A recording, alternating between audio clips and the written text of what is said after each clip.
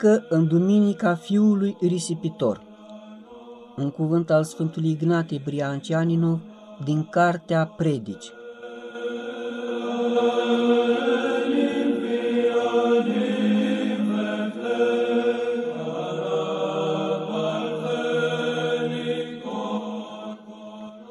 Iubiți frați, Sfânta Biserică, această Maică iubitoare de fii ai credincioșilor, care a născut într-o mântuire și ia asupra sa toate grijile ca fiii săi, să nu mă rămână lipsiți de moștenirea lor, cerul, pregătindu-i de săvârșirea cu izbânda nevoinței care vine a Sfintelor Părăsim, adică Apostolului Mare, a rânduit astăzi să se citească la dumnezească liturghie pilda Domnului nostru Isus Hristos despre Fiul risipitor.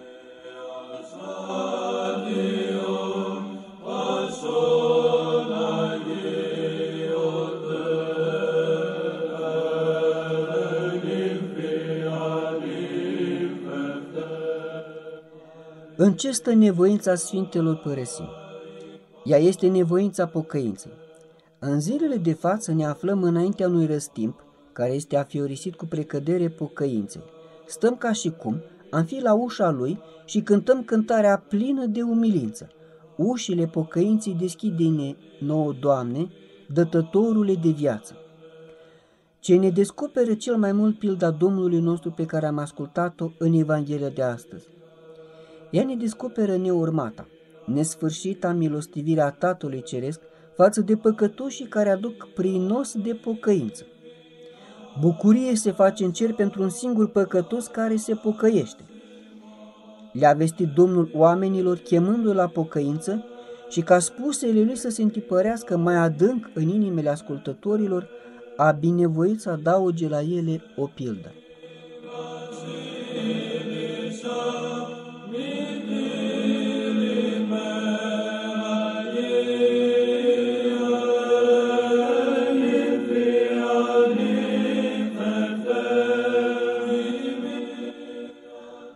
Un oarecare om bogat, ne povestește pilda evanghelică, avea doi fii. Cel mai tânăr și-a rugat tatăl să-i dea partea lui de moștenire. Tatăl a împlinit rugămintea mezinului. După ce au trecut câteva zile, acesta, luându-și averea, a plecat într-o țară îndepărtată, unde și-a cheltuit totul avutul în desfătări și în desfrânări. După ce a risipit totul, în țara aceea a venit o vreme de foamete. Fiul bogatului nu numai că a început să aibă greutăți, ci a ajuns chiar într-o stare cu totul jalnică. Aflat în asemenea strâmtorare, s-a lipit de unul dintre locuitorii locului, iar uh, acela l-a trimis pe câmp să-i pască porci. Nefericitul chinuit de foame ar fi fost bucuros să-și umple burta cu mâncarea cât se poate de grosolană cu care se hrăneau porcii. Lucrul acesta însă nu a fost cu putință. În starea aceasta, aflându-se, până la urmă și-a venit în fire și, amintindu-și de belșugul ce umplea casa părintească, s-a hotărât să se întoarcă la tatăl său. În cugetul său se pregătise deja pentru a-și pleca tatăl spre milostivire, să-și recunoască păcatul, să-și recunoască nevrenicia și să ceară cu smirinii să fie primit nu în familia tatălui, ci în ceata robilor și a slugilor acestuia. Cu această așezare a inimii, fiul cel mic a purces la drum. Era încă departe de casa părintească atunci când tatăl l-a văzut. L-a văzut și i s-a făcut milă de el. A ieșit alergând într-o întâmpinare a lui. S-a aruncat de gâtul lui. A început să-l sărute. Când fiul a rostit mărturisirea și rugămintea pe care și le pregătise dinainte, tatăl a poruncit robilor, aduceți haina cea mai bună, îmbrăcați-l în ea, puneți inel în degetul lui și încălțări în picioarele lui. Aduceți și junghia, junghiați vițelul îngrășat. O să mâncăm și o să ne veselim. Acest fiu al meu era mort și a înviat, era pierdut și s-a aflat. Fiul cel mare, care fusese totdeauna supus voinței tatălui, s-a întors acasă în timpul ospățului. I s-a părut ciudată purtarea tatălui față de mezin, dar Tatăl însuflețit de dreptatea dragostei, înaintea căreia orice altă dreptate este sărăcăcioasă, nimicnică. I-a răspuns, Fiule, tu ești întotdeauna cu mine și tot ce e al meu este și al tău. S-ar fi cuvenit să te bucuri și să te veselești că fratele tău a fost mort și a înviat, pierdut a fost și s-a aflat.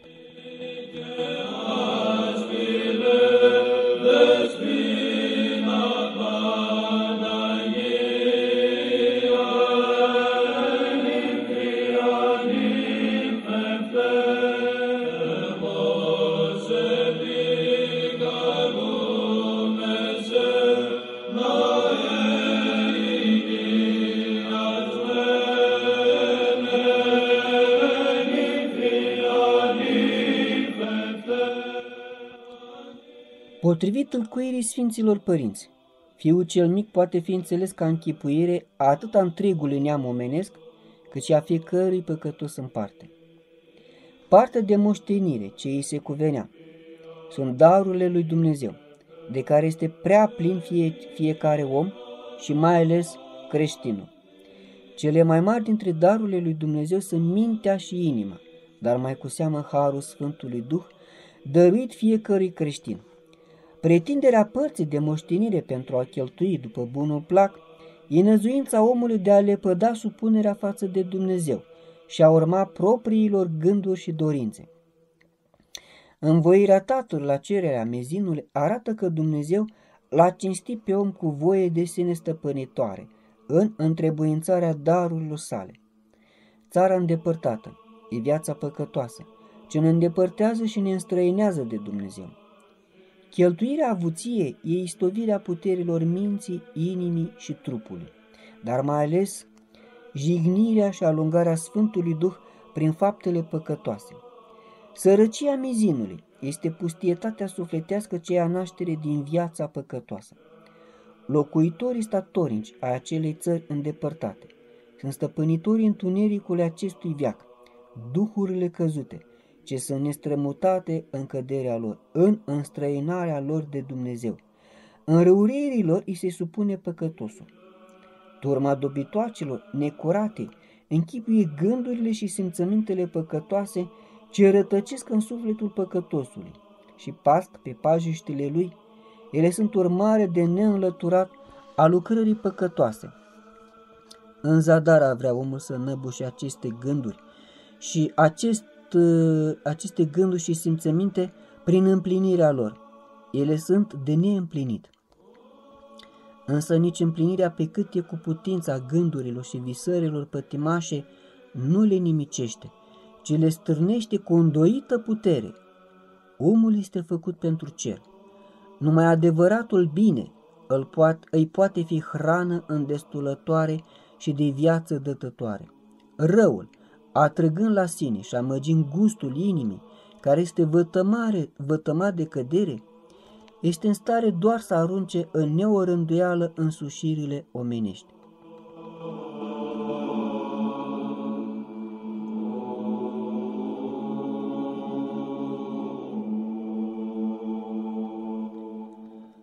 Cumplită este pustietatea sufletească, pe care o priciunește viața păcătoasă, de neîndurat, chinul, adus de gândurile și de simțămintele pătimașe, păcătoase, atunci când ele colcăie ca niște vermi în suflet, când sfâșie sufletul care li s-a supus, sufletul pe care îl stăpânește cu silnicie, nu ori păcătosul, chinuit de gânduri amarnice, visări și pofte, cu neputință de împlinit, ajunge la deznădejde.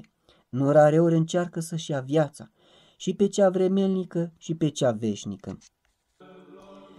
Fericit păcătosul, care în acea vreme de restriște își va veni în fire și își va aminti nețărmuita dragostea Tatălui Ceresc, își va aminti nemăsurata bogăție duhovnicească, de care este plină din belșug casa Tatălui Ceresc, Sfânta Biserică.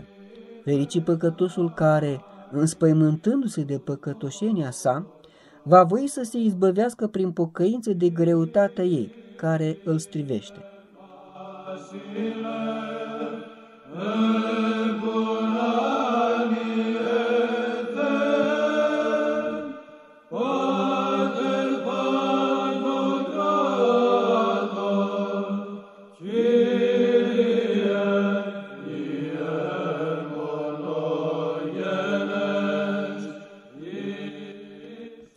Din pilda evanghelică, învățăm că pentru o pocăință reușită și rodnică, din partea omului, este neapărată nevoie de vederea păcatului propriu, recunoașterea lui, părerea de rău pentru el, mărturisirea lui.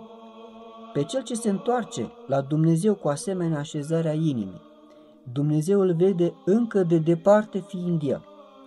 Îl vede și se grăbește să-l întâmpene, îl îmbrățișează, îl sărută cu harul său.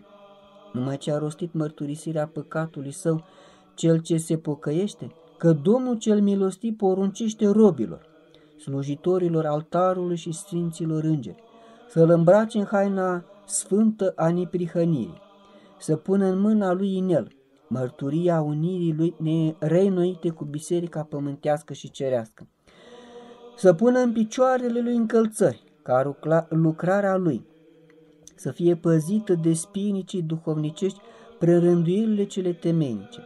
Asta înseamnă încălțările ale poruncilor lui Hristos. Ca împlinirea lucrării dragoste pentru fiul reîntors, se întinde masa dragostei la care se junghie vițelul îngrășat.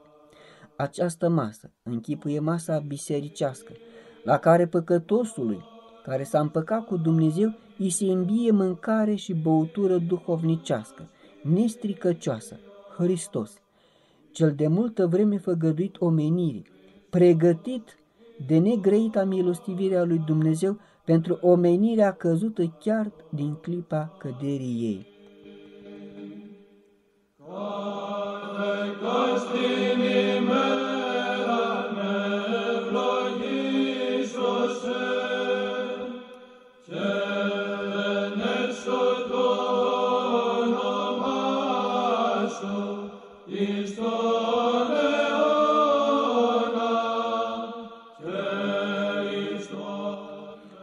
Pilda evanghelică este învățătură dumnezeiască. E adâncă și înaltă. În ciuda neobișnuinței, simplități a cuvântului omenesc, în care a binevoit a se învășmânta cuvântul lui Dumnezeu, cu minunată înțelepciune a rânduit uh, Sfânta Biserică să se citească înainte a tot poporul această pildă, înainte de începerea apostului mare. Ce veste poate fi mai mângâietoare pentru păcătosul ce stă descumpănit în fața ușilor pocăinței, dacă nu vestea despre nesfârșita și negreita milostivire a Tatălui Ceresc față de păcătoșii care se pocăiesc.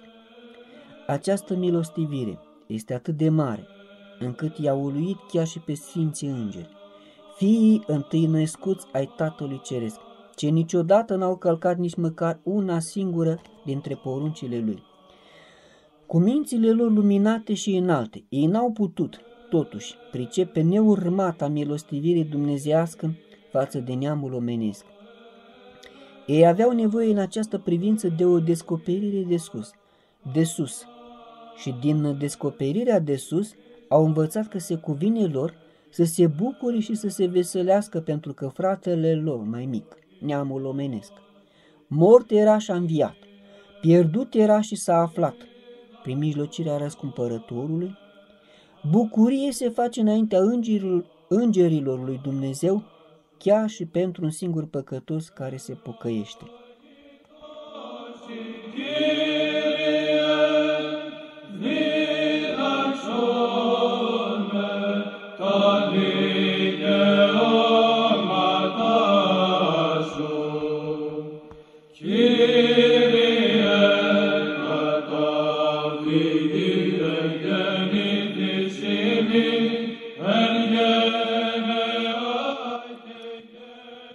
Iubiți frați, să întrebuințăm potrivit menirii ei vremea pe care Sfânta Biserică a rânduit-o ca să ne pregătim de nevoințele Sfintelor părăsim. Să o întrebuințăm și spre a ne umple mintea și inima de marea milostivire a lui Dumnezeu față de oameni îndeopște și față de fiecare om în parte, care dorește să se împace cu Dumnezeu și să ajungă la unirea cu El prin mijlocirea adevăratei pocăințe să dea Dumnezeu să ne hotărâm soarta veșnică spre mântuirea și bucuria noastră, ca veselia noastră să fie nesfârșită, într-o unire cu bucuria Sfinților Îngeri a lui Dumnezeu. Ca bucuria cea de obște a oamenilor și îngerilor să se împlinească și desăvârșească într-o desăvârșirea voiei Tatălui Ceresc, că nu este voie înaintea Tatălui Ceresc să piară unul dintre aceștia mici, oameni micșorați și înjosiți de păcat. Amin.